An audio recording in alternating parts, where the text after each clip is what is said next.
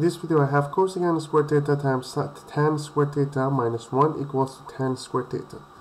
So what I do, I write cosecant squared theta times tan squared theta and here I put this negative 1 to this side which is tan squared theta plus 1. We know tan squared theta plus 1 is secant squared theta. So here I have cosecant squared theta times tan squared theta. Cosecant is 1 over sine squared theta. Tan is sine over cosine.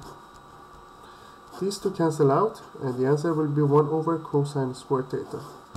And as we know, 1 over cosine is the same as secant squared theta. So as we see here, that's proven. We can also use here as 1 over sine, that's the second method.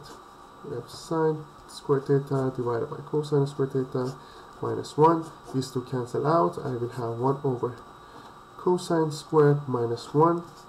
And I can write 1 over cosine squared minus cosine squared divided by cosine squared. Instead of 1, I can write cosine divided by cosine and I have 1 minus cosine squared theta divided by cosine squared theta and then I have sine squared because 1 minus cosine squared is sine squared divided by cosine squared so I have tan squared theta. That's proof.